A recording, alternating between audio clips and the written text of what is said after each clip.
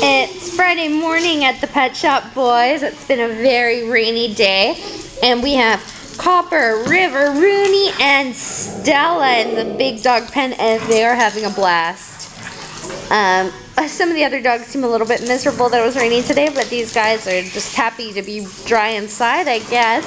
I'm so happy Stella the Husky is taking part in this because she's a little bit er older and I really didn't think she had that playful side in her, so I'm glad they're all having fun together.